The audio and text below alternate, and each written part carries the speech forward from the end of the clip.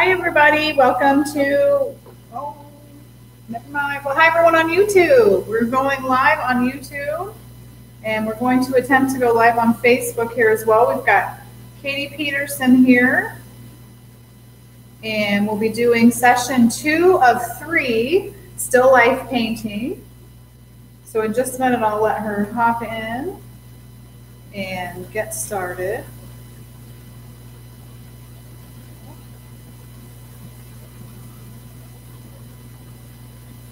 Thanks for joining us today. You can leave comments.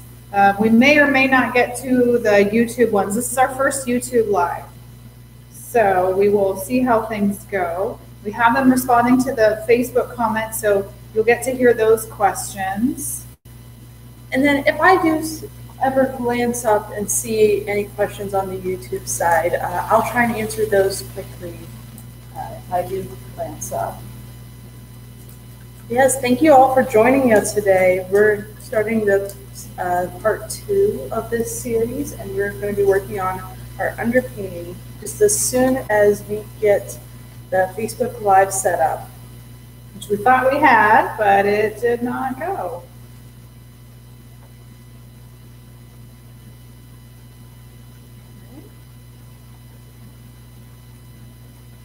All right.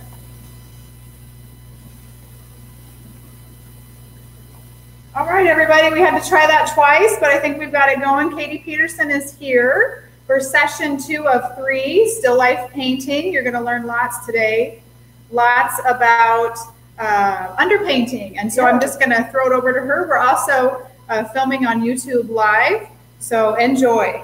Hi, everyone. So thank you for coming today for part two of the series that we're doing. So now we're going to start our underpainting and we have a lot to do today. So I'm actually going to later on put in our artists that I will be talking about in the description or in the description or in the comments uh, so you can look at them later. So uh, so for today, we're going to be learning actually the grisaille method of underpainting.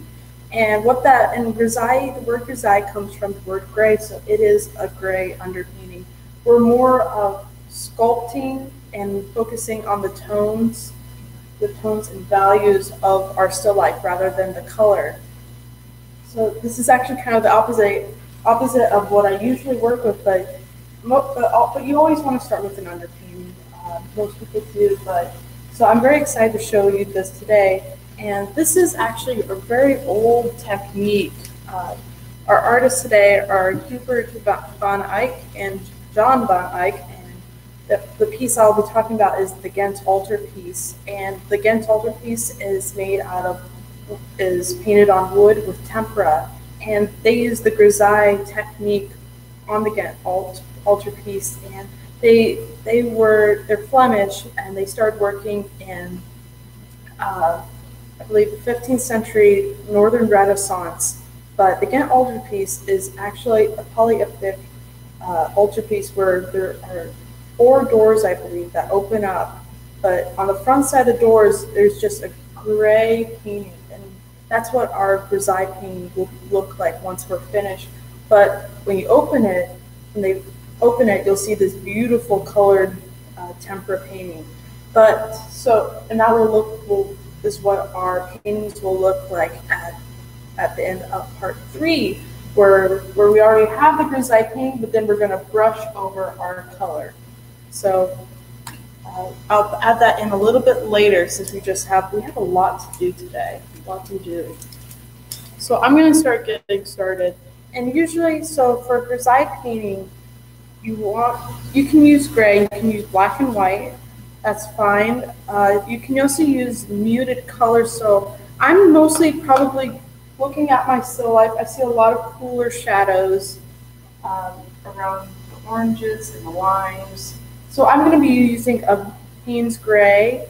I might use some Van Dyke Brown for the, the teacup part because that, that feels like a warmer shadow. But so if you really so if you really want to, you can try and pick out those warmer and cooler shadows. But for mostly for a grisaille painting, you you want to use muted colors. So And usually before most, usually when we start this with students, uh, we usually have them create a value scale. Uh, so they'll have, you know, their darkest value as a nine, their lightest value, which would be white, as a one. You know, we'll meet in the middle. What is the, the middle value? And then we'll we'll fill in the gaps between there. But I don't have one with me today. So, but so what I'm first going to start doing is I'm going to establish my darkest areas of the painting, um, mostly for me to see kind of what I'm working with.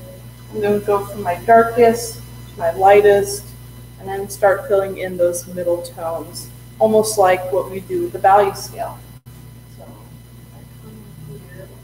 I'm just using pure Payne's gray. I'm not really adding much to it. Actually, I take that back. I might add just a little bit to it just so, because really the purpose of an underpaint is to build up our canvas. You know, we don't want to see, we don't want to see the canvas underneath. Uh, it's okay to see some of the tooth of it, that's, that's fine. But we, we want it to look like, you know, there's a nice solid coverage of it. So I'm gonna go in, for my still life over here. Okay, go and watch it again.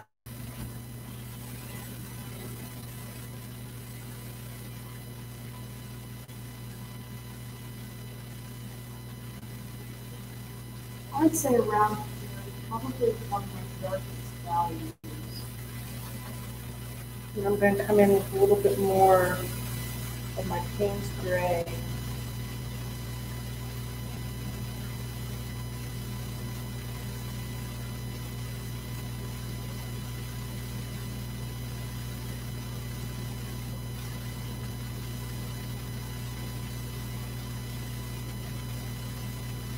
And again, for the first time ever, we're also cross videoing this at YouTube Live. So if you have any friends that don't have Facebook, let them know they can access us at YouTube Live as well.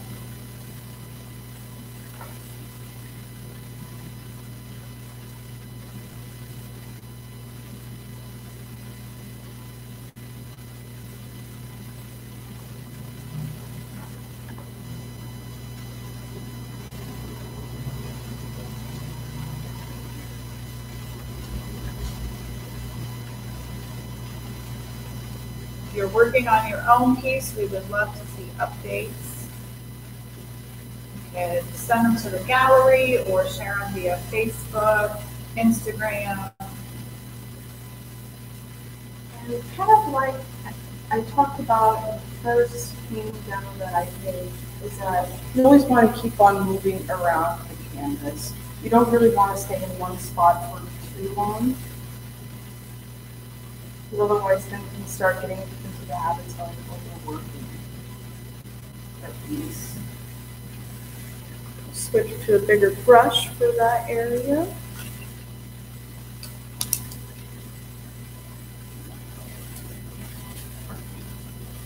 For anyone new to paint too, before we went live, Katie and I were discussing this method and she was uh, telling me that it's something that many students would learn in like a paint in one class. Yes, yeah, so this is a really nice way to learn about value. And we're not, we're more of like sculpting rather than, uh, than painting or like coloring. That's interesting. What do you mean by sculpting? So we're thinking about only the light and the shadows. Uh, we're not thinking about color yet. It's very similar to, I guess, you know, if you're working in 3D, you're thinking about, you know, the form rather than the surface.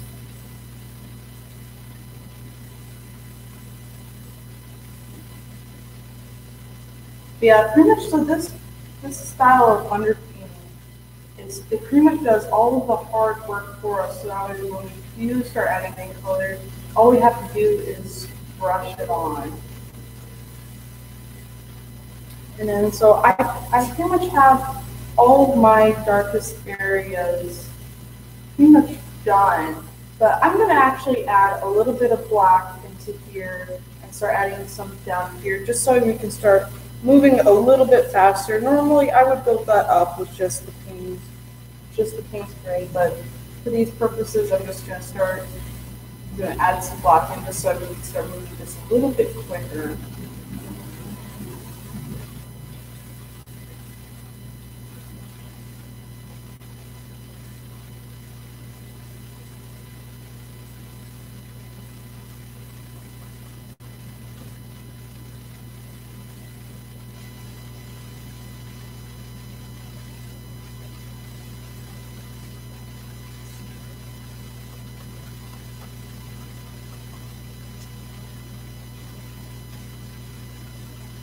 feels so weird uh, using black ink after I've been been away from it for so long. I Can you missed it. tell the viewers why? um, I think you might have in- in the last class, but if in case they weren't tuned in, why you've been away from black. So I love black with all of my heart. You know, I wear a lot of it. Um, but it just, but I tend to overuse it. Uh, so I, I have an, I used to have kind of addiction to it almost, I would say. Um, so I, so my professor, one of my professors, you know, she just said, okay, you know, she took away my black. and, um, was a little bit heartbroken, but you know, but I had to learn how to use color, and you know, and eventually I kind of became more of a colorist. You know, I I use pure color instead of using black. If I'm going with a darker tone, I'm usually going to use like a Van Dyke brown or a Payne's gray rather than a black. Or I will use my complementary colors rather than a black because you can really get some really rich, dark darkness with just your complementary colors. That and it just because black kind of it's very flat, you know, it just stops everything out, and that's why it looks really beautiful with like printmaking. If you're doing like a black and white print, you know, it's very graphic and it's beautiful. But for painting, you know, if, if a lot of times, you know, I'm don't I'm not really looking for that in my paintings. It might be a little bit too harsh with some of the colors that I have chosen. So, you know, it, it was the right decision for me to leave it out. Right now, I actually took a little bit of my Van Dyke brown and some white. I'm kind of filling in kind of this lighter black area. So we're only using black for the very darkest, darkest parts. Looks like we have Linda Williams and Kyle Mock joining us. And anyone watching via YouTube Live or Facebook Live, let us know if you're just kind of watching and maybe you'll do the project later, or you're just learning, or maybe you're you're uh, actually painting along with Katie. We'd love to know how you're viewing. Jennifer Benson just joined us. Hi, Jennifer. Hello.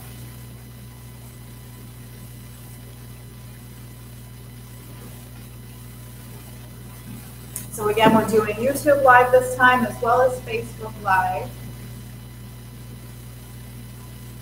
And we're on session two of three sessions. So as you can see today, Katie's getting some paint on the canvas, and this is what she has termed underpainting. Yep. But yeah, we're building up our canvas because we don't want to see uh, the canvas showing through our paint. I usually do an underpainting with a color uh, with my values, but this time we're doing a grisaille technique. So this is very exciting. It's good to do different things. You learn a lot.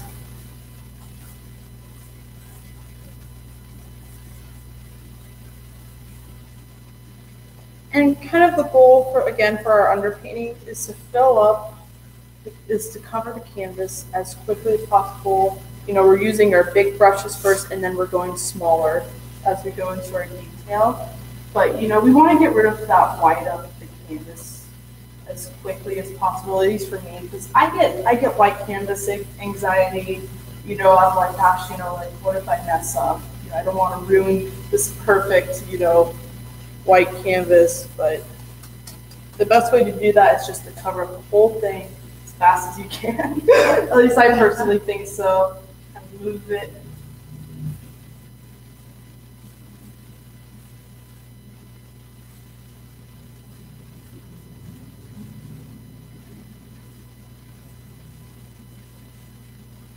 And it is only paint, so it can be uh, modified if you have a particular light, right? Yes. Yeah, like in here, there's kind of like this outlet switch. I'm I'm gonna take that out. I'm I don't really think it serves any purpose to the overall overall um, composition. It's not important. So I I'm gonna cut it out. It's in the background anyways. Now a lot of a lot of students that I've had, you know, like they have like an object, like a glass object or something that's very intricate, like rope, and they're like, "Gosh, you know, do I have to?" Yes, yes, you do. but but I'm not being graded on this, so maybe I am. I don't know.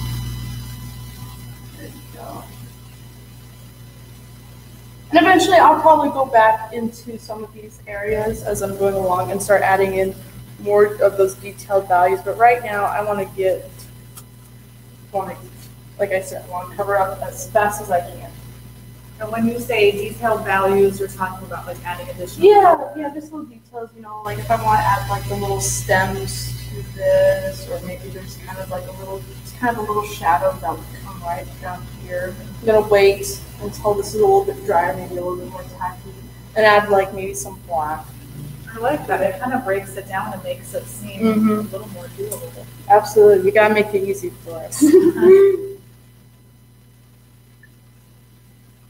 And then uh, also with this method, a lot of people are like, well, you know, my, my brightest highlights are my whites, you know, can I just leave that on the canvas? No.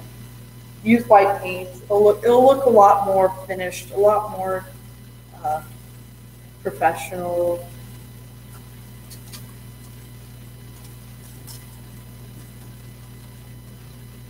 I know that I a little highlight here, so I'm just gonna mark that off really quick So I keep in mind. Eventually, so now I'm going to start blending. Usually, uh, you want to blend with your palette knife because otherwise you can get you can ruin your brush and you can get paint in here, and that's really hard to clean up. So I'm going to start blending some of my Payne's gray into some more white. We're starting to establish those middle tones.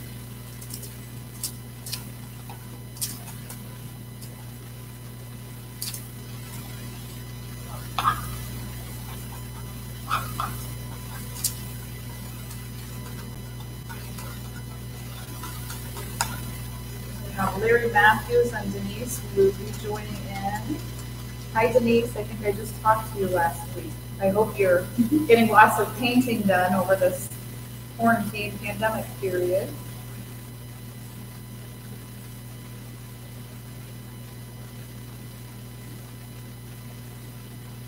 So again, we're on YouTube Live today as well as Facebook Live. If you have any friends that don't do Facebook, they're welcome to join our, subscribe to our YouTube channel at Fremont Area Art Association. Always wanted to be a famous YouTuber. Well, we decided, when Katie and I decided to do some virtual classes, we decided, and we, neither of us had done them, we thought, well, if we make some huge blunders, we will probably just go viral and be, you know, It's a win-win. yeah, YouTube viral sensations. We're in section two of three, so today Katie is tackling the underpainting. And as she just mentioned a little bit ago, she's not getting real into the details. She can go back and, and kind of tackle those later. Yep, I'm just kind of, I'm really following what I drew. I'm following my drawing. A lot from kind of where I blocked off the shadows my drawing. kind of just filling in those places. Which, you know, I'm usually, I'm very bad with, with my drawings, you know, like, I like, to, I kind of, I tend to rush through them, but I'm really, really thankful for, for taking the time to do really nice detailed line drawing because that, that's helping me out a lot right now. All right, so we're kind of just starting to change this circle into a sphere. Uh, we're thinking about the lighting that's being right in here. Um, we're having some some lighting that is bouncing back kind of here. Um, we're going to have light that will hit here and bounce off of there. So really, you know, it's again, it's a lot about breaking it down into simple shapes. This is just a sphere right now. This isn't an orange yet.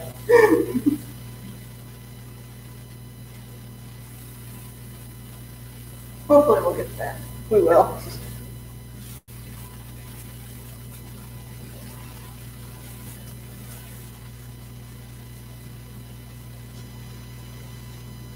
A reminder that last week's session is on our YouTube channel as well as our Facebook page. There's no session next Wednesday, but we will follow up July 29th. Yeah, this is this will be a lot for one for one sitting. So we want to give you as much time, you know, to, to get to get through this undertaking because this is probably where there's just a lot. Where there's the most action happening. There's a lot happening in this stage. Right now, I'm kind of going back in with the, my really dark Payne's gray, my darkest Payne's gray that I can get it, going over this shadow right here by my orange because it is pretty sharp. But a lot of times, remember, uh, if you want to make things look darker or lighter, is through contrast. So with my with my light right here, I might add just a little bit of a dark, just kind of put right here. You can actually see that a little bit in my a little bit of dark right in there. That will actually make my highlight look brighter.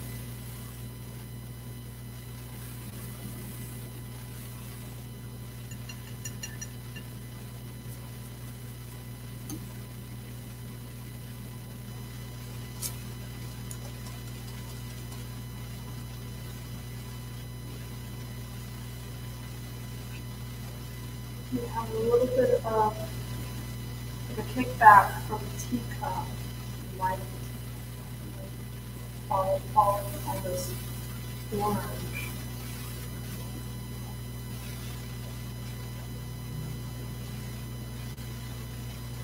But I'm starting to kind of overwork this orange now, so I think it's about time for me to move over to this one. I'll go back and refine what I have there. So moving on over to this line.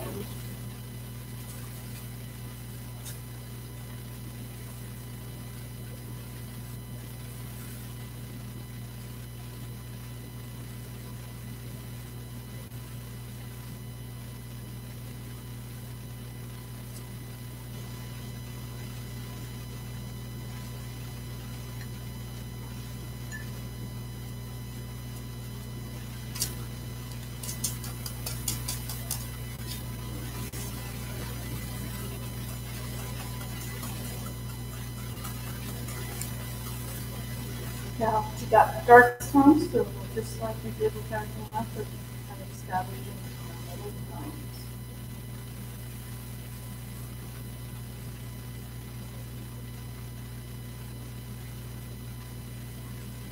If you have any questions for Katie, feel free to leave a comment.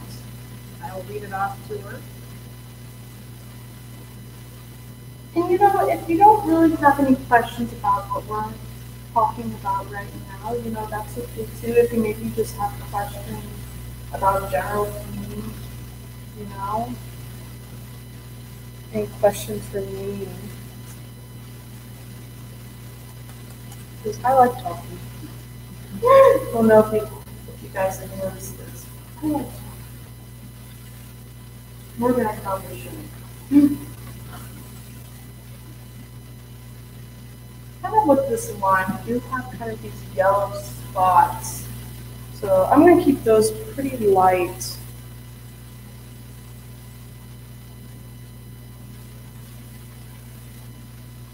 Sometimes you just have to add some more graphic to.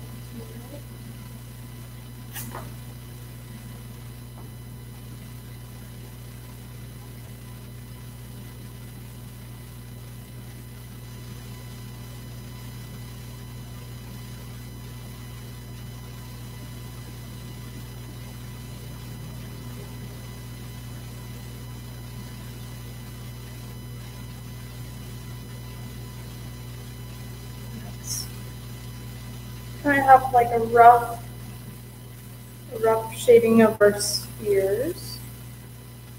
Might add a little bit of for the little stem, just so I know where they are. so I don't.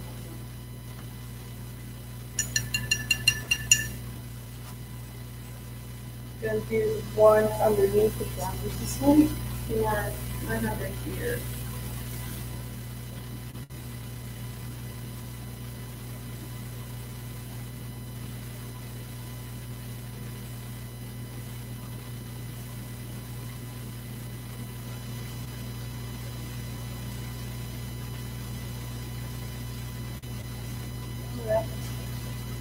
Gonna start with this one over here.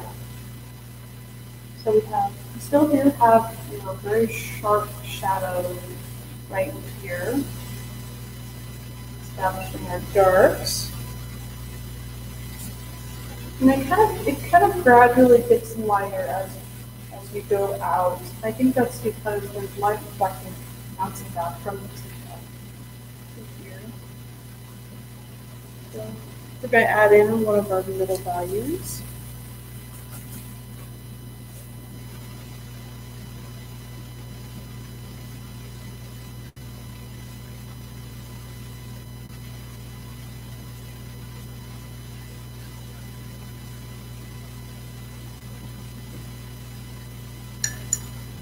And then there is kind of this implied line right here that's kind of like this white highlight. And, and it's going to show up really nice against what we have here with the black because white and black are, are complementary shades, really. Just, just like blue and orange, and red and green, and purple and yellow, which is why they look so great together. Looks like Gary Piercy just joined us. Hi, Gary.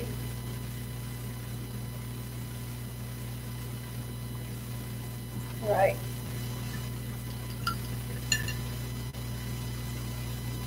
Questions or comments for Katie? It can be covering um, still life painting or just painting in general or art in general. Maybe if you have any questions from the lab, from part one that we did, it's all good too. Maybe if you didn't see part one, you can ask about the drawing in general. Then we're gonna start, we're gonna have, looks like we still have some middle tones here. Our highlight would be around here. To mix up a little bit more. Using our palette knife, using good, good painting habits. I usually just mix with my brushes. Do what I say, not what I do. I also need to clean my brushes more. Oh well, but like, you know, I use them a lot. You know, I use them almost every day. You know, they're not really sitting in my solvent for very long. So that's probably why they've lasted a little surprisingly long, I think. How long do you spend each day painting? Uh, you know, I'm kind of working on making for a class right now, so I, I've been kind of uh, taking a break from painting. But you know, when I'm I'm going, you know, I have I'm I'm creating paintings. I'm you know just like just knocking them out. You know, I I could spend about maybe seven hours. You know, I'll maybe spend like two hours on one, and then switch over to the other one when I need a break. But that's when that's when I was working on my senior show for undergrad. You know, I, I, I there was a lot of time, a lot of time in the studio, a lot of late nights, but you know, that's where I would want to be anyways. You know, I, it, it doesn't really feel like work. So, so I'm really, I'm really thankful for that. I'm really thankful that I found something that, that you know, if I if I do work, you know, at eight o'clock at night, you know, until midnight, you know, I'm not, I'm not, I don't feel like I'm draining myself. But granted, but like you, with most most creative people in in any field, I feel like, you know, whether that be music, art, dance, you know, we we as creatives we do need a break every once in a while to recharge, otherwise we can get burnt out. We do have to be careful of that and mindful of that. It's kind of a highlight. Quite here, kind of making that one shadow really pop. But, but you know, so I've been kind of taking a break from painting, and I've been working on printmaking, which I really, really enjoy. Right now, we're learning about screen printing. So that's pretty fun.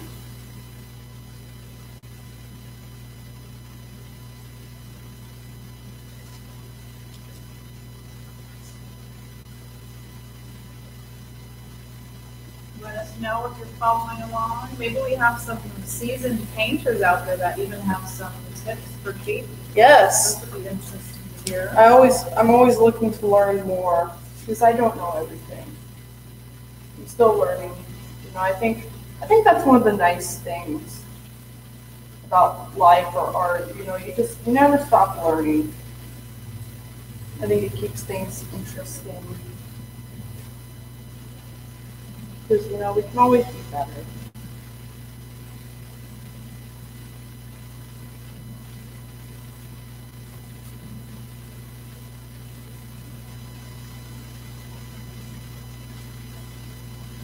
kind of have this implied line right here. It's kind of the opposite of here. You know, we have kind of this lighter area right here, so we're going to have this implied dark line right here.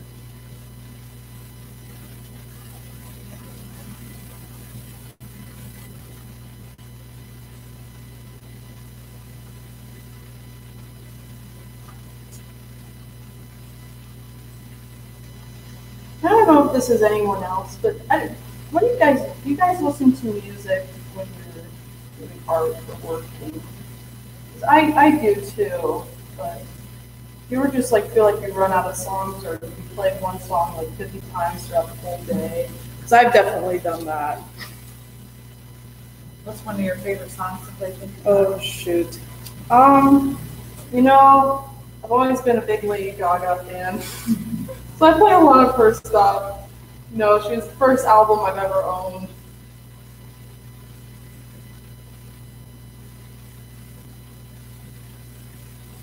You know, but like, you know, I've I've listened to all kinds of stuff though. You know, I've I've listened to uh, I've listened to classical, because I actually just took a, a music class last semester that introduced me to classical music and helped me understand and appreciate it. Quite a few things that I really, really like now. Um, I've listened. I've listened to instrumental music from like video games that I've seen my friends play. I've heard that video game music makes you concentrate more. And sometimes if I'm feeling distracted, I'll put that on. Hopefully that will make me focus. I get distracted very easily. All right, so that one's looking about done. Think I'm going to start doing some of the folds in the background. You know, I got Payne's Gray on my brush still, so I'm going to do that. I'm going to work on the background, kind of the bluish areas. Got to keep the ball moving.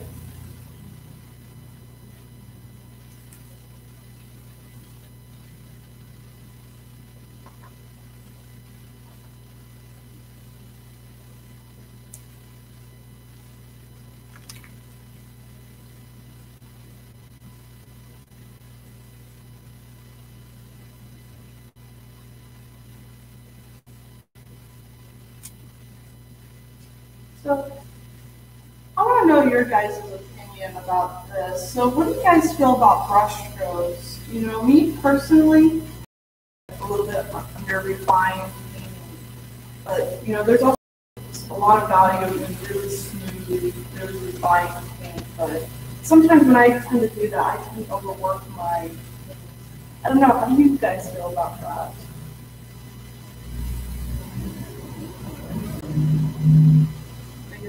Personal taste?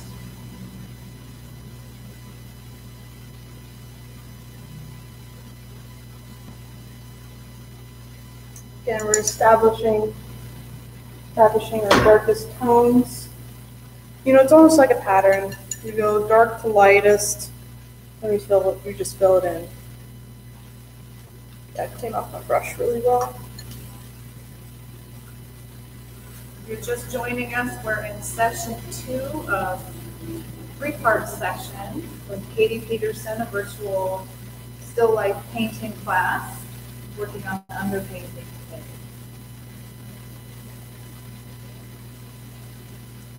This is actually pretty light in the background, but I think it's gonna look beautiful and really make the shadow in here pop.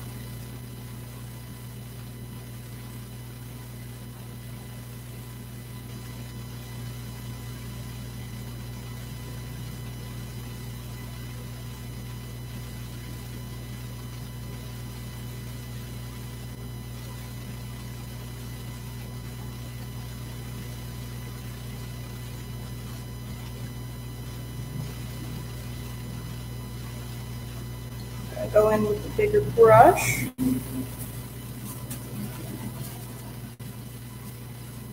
You know, I've heard a lot of advice that's good to kind of switch switch up your brushes. Don't stick with one brush for too long. I tend to do that. You know, I have I have a favorite brush. What are the benefits of switching it up? So, you know, again, like if you're working in a big area with a little teeny brush, you know, like I was kind of doing, I started doing that in here before I caught myself. Uh, you know, just some brushes are fill different spaces better. Um, usually, filbert brush, you know, that's really nice if you're doing like curves. This brush is doing is really nice for doing uh, straight lines. The one like for curves you said is a Dilbert Uh, filbert, Filbert. filbert, yeah. Can you show one of those? I think it was actually this brush right here. It's kind of a tapered, Oh, okay. tapered edge right there. This one now that we're doing for the holes, kind of want to straighten the brush.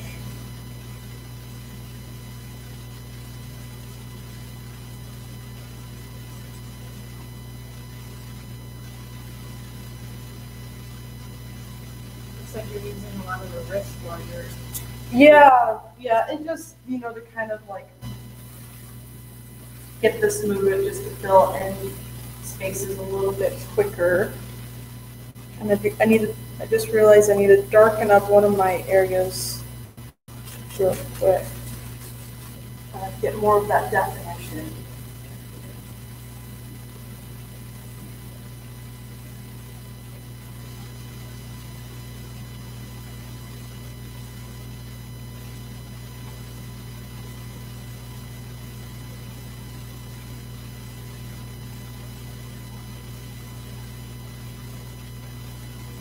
I didn't really want a lot of sharpness in there because I'm just doing kind of going down the fold to that line. I want to blend in a little bit of the line.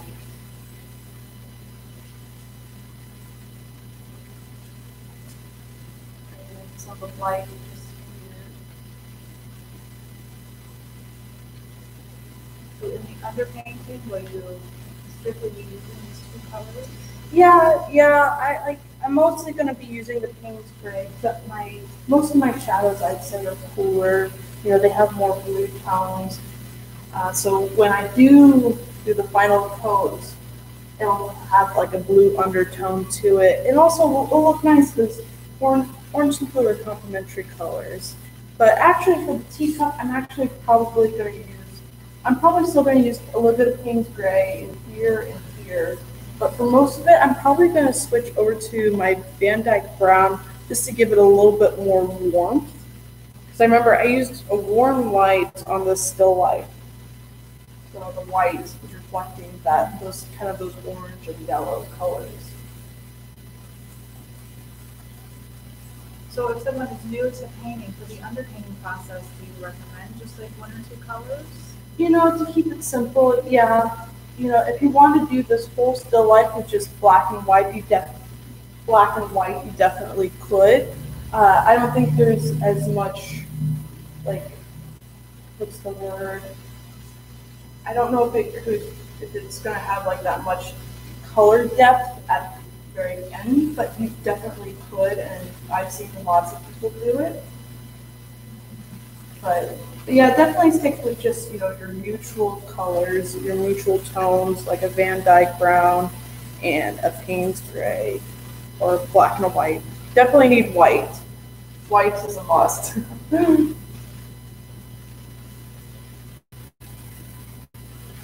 But you aren't using white today, right? I am, yes, definitely. Yep. Yep. All the all these tones are just pretty much made using Payne's gray and white, and I use a little bit of black and Van Dyke brown down here. Yeah.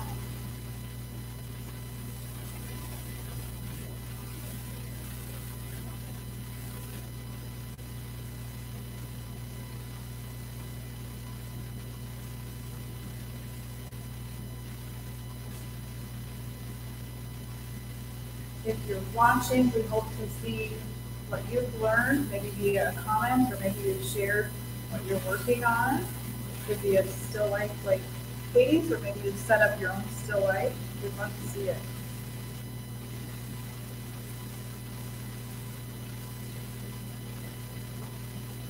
So now we're gonna start filling in the lights and middle tones. Just open here. Got this really nice highlight right accidentally had a dirty brush, so that's kind of more the middle tone. But eventually when it dries, I can still go back in and add in those brights. And I might even add, go back in a couple times before I'm done with my underpainting to make sure that they're the, the brightest brights and the darkest darks, just to really get that beautiful contrast and that value in there. Because a lot of times with value and still life, um, you know, it's, the it's different values that make a painting really interesting. Can you talk a little about, bit about what value is for anyone completely new? Yeah, so value is is the different shades of of our of our of our scale, of our value scale. So our value scale, so we'll have white at one end and our darkest dark at one, at another end. And all of those shades in between those are our values that we would use. Oh, Again, I think I mentioned this before, but a lot of times, you know, new students, we will usually have them create a value scale. That, that really helps us picture, and usually we have it like right here, so they can be like, okay, for one mid, for this midtone right here, I just need to be a three. So it's almost like an ombre of color? Yeah, yeah, it, yeah, it's a definitely a gradation of our, of our values, of like the lightest lights to the darkest dark.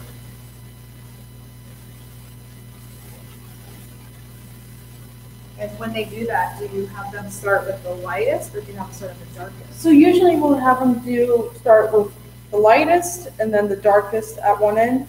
And then we'll do our middle tone, which is equal light, equal dark.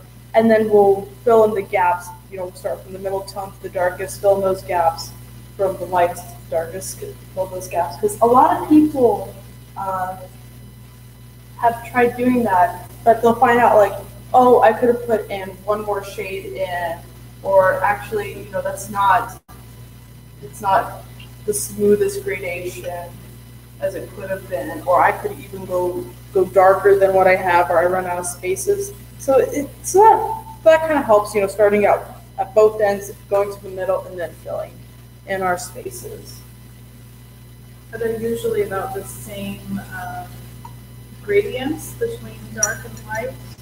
The same number of them? Oh, yeah, yeah, you could, you can make it work.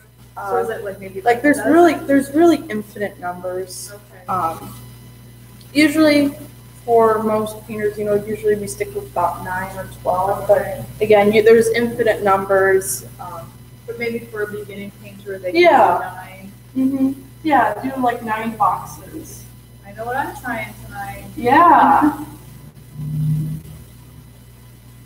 You know, and sometimes we get painters that have painted before and they're like, value scale, why do I need to do that? You know, that's, it's really simple, really simple study. But, you know, even, even as been painting, you know, I did my senior show of paint with painting, you know, I still like having value scale around.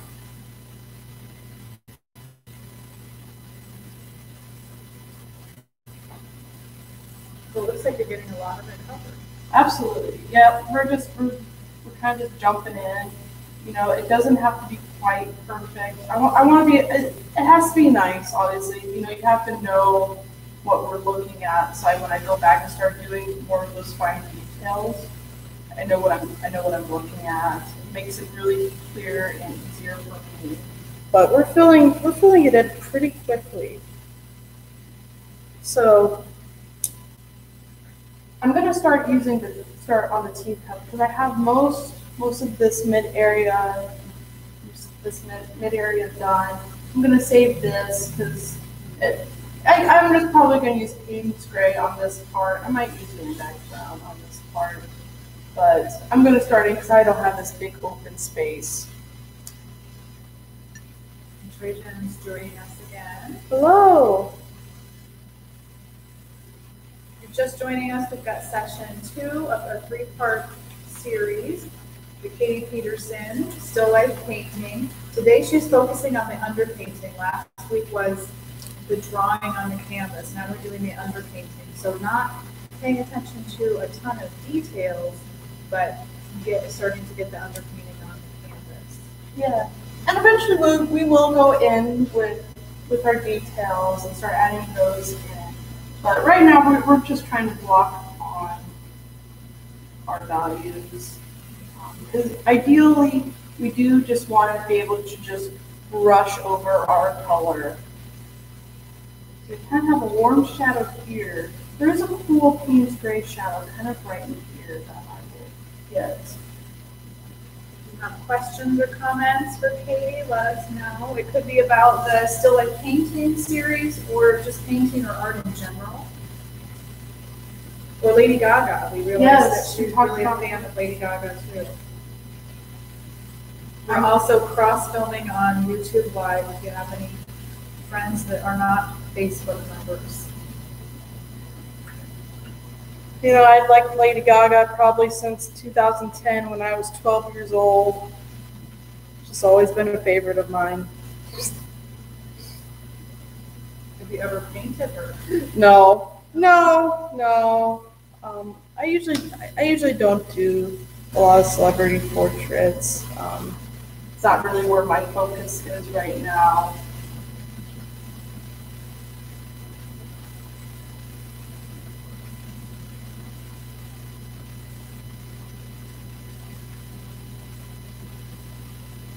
All right. Katie was just sharing a tip a little bit ago about gradients, and if you're a new painter or even a seasoned one, you can start out with your lightest, like a white, and then um, maybe the darkest on the other side, and then get your half of each color right in the middle. Create about like maybe nine different swatches from light to dark, or kind of an ombre gradient. And when you're doing an underpainting, that will help you decide which is best suited to each area.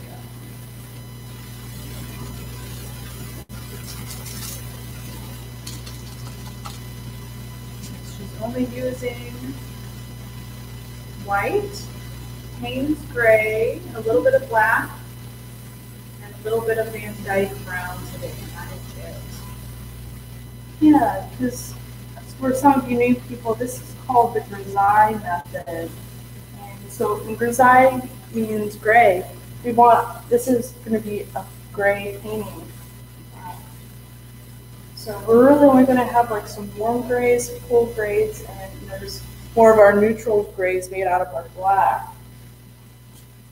And then ideally, once we have the underpainting done, we should just be able to brush on our color without having to really mix very much. And this is great to learn about form of our different shapes, because really, these are just spheres. Um, you know, I think a lot of people are like, okay, you know, I can draw a circle, but when you put like, say, like an orange or something in front of them, they're like, gosh, you know, like it's orange, like this, this is gonna be a little bit harder. Just remember, just remind yourself that, that this is, this is just a sphere. We're looking at it as a sphere. This isn't orange yet.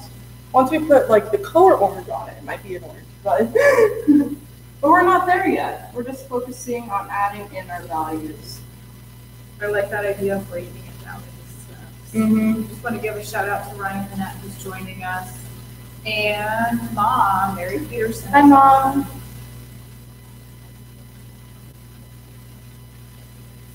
You're following along, let us know, or maybe you, um, you just wanted to check out the video, see what he's up to. Leave us a comment or a question.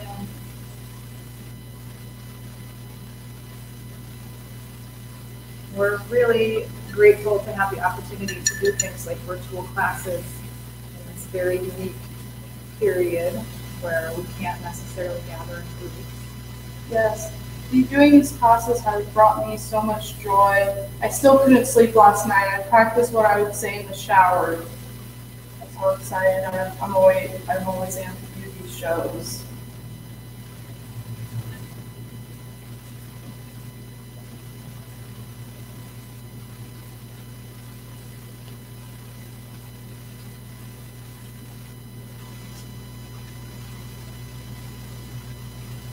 Kitty Houghton is out there following along today, and she's actually doing a watercolor.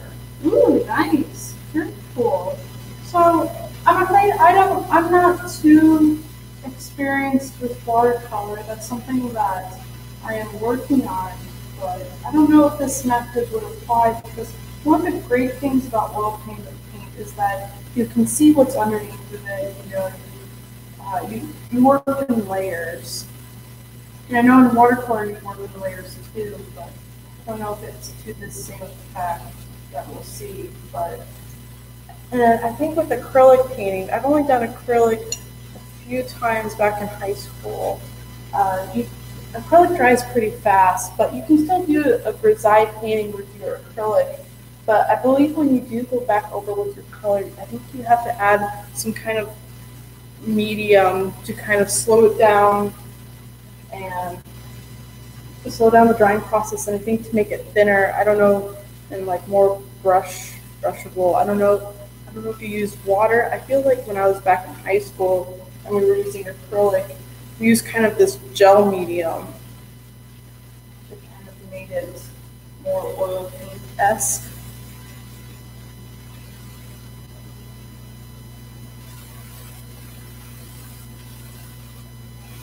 Reminder to Gallery 92 members, if you're a member of the Fremont Area Art Association, next month we'll start our all members show. And actually, I think uh, as of yesterday, it sounds like we might be hanging it through September. So um, if you are working on a piece, we would love to see it.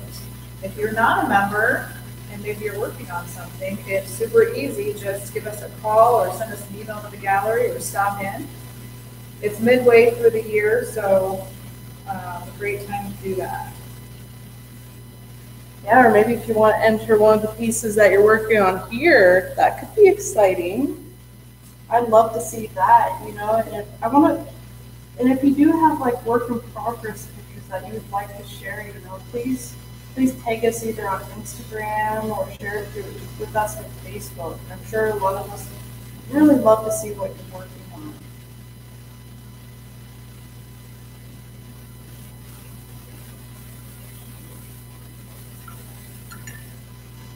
So I do have a little bit of our design I kind of have this flower design. I'm not really going too much into detail with that. It's more just like a very faint detail. I'll probably eventually blend it out just a little bit more. Because I don't know if it's really that important to the composition right now. We have a question if this is the same still life from last. time. It is. It is the same still life. Yes, the drawing that I worked on last time. This is the second step to what I was working on last time. So yes, kind of fun to build it off of each other. I know a lot of people really enjoy seeing works like the work in progress. And seeing how it kind of changes throughout that process. That's fun.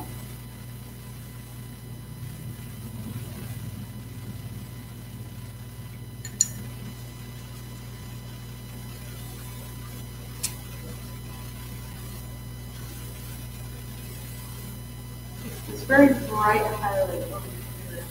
I kind of a little bit, but that's okay. We can still go back and add it in.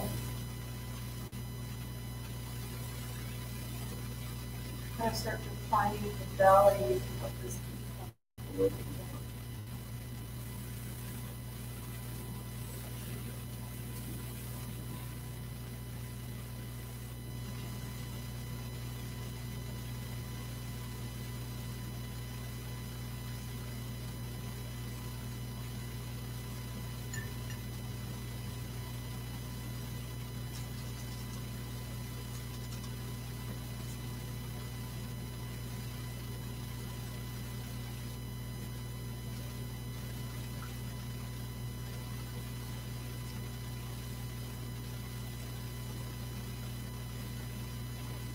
Really nice day to paint, you know, there's, it's kind of rainy outside.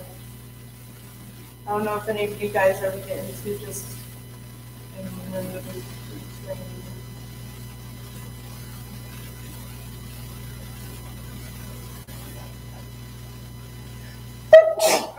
There we go.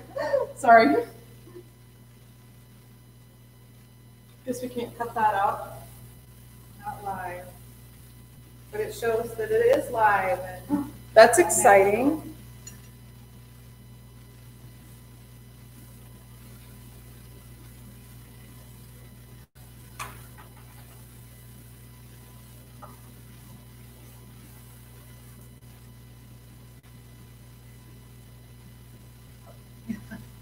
Drop my cap, please. I have butterfingers.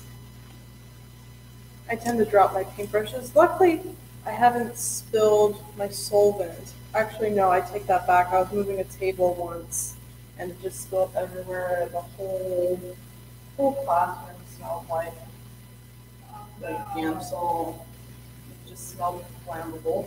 So, yeah, that wasn't great.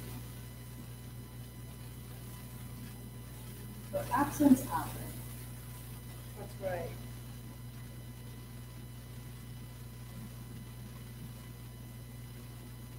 I'm starting to find the lid of this pumpkin. I'm just using nice, nice smooth movements.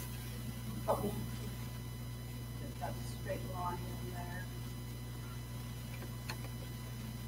I have these warm shadows in here.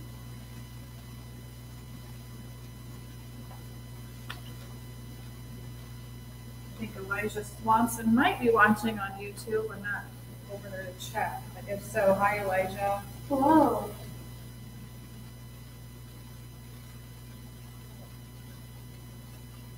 You know, and speaking about simple shapes, you know, that, it, you know, learning how to draw spheres and thinking of things as spheres and squares and ovals, you know how that you can tell yourself that it's just a circle or it's just a square. That'll help you start drawing, you know, a lot or drawing and painting more complicated things and breaking down more complicated objects into their most simplest parts like the human like the human face you know. The human face is mostly just a circle and then a square or a softer softer square if it's a woman's face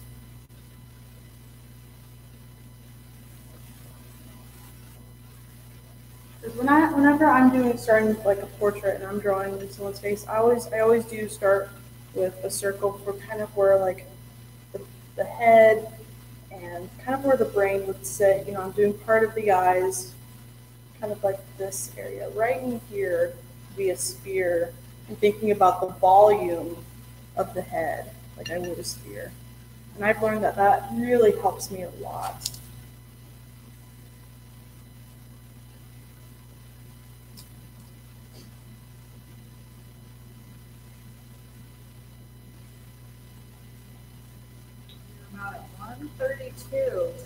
probably wrap things Yes, up. well, we got a lot done today. I'm gonna go home and finish up this, this painting really quickly, really quickly. And then I'm gonna post it to my Instagram and then I will give it one, a picture of it to Angie and she can post it. And then you guys can see oh, what a finished grisaille painting will look like. So, well, thank you all for joining us. Um, I look forward to seeing your paintings and hearing any comments, and I look forward to seeing you all on the 29th, where we will finish up our painting. We're going to start brushing in our color, and then I'm also going to bring in a, a, the painting that I did the first episode of the portrait. I'm going to teach you guys how to clean up our borders and add a varnish, so that way, and add a varnish so it's ready to show. Uh, you know, it's it's done, it's finished. So thank you all, and thank you to Gallery 92West for having me here. Thank you, Katie. Thanks for joining us, everybody. Take care.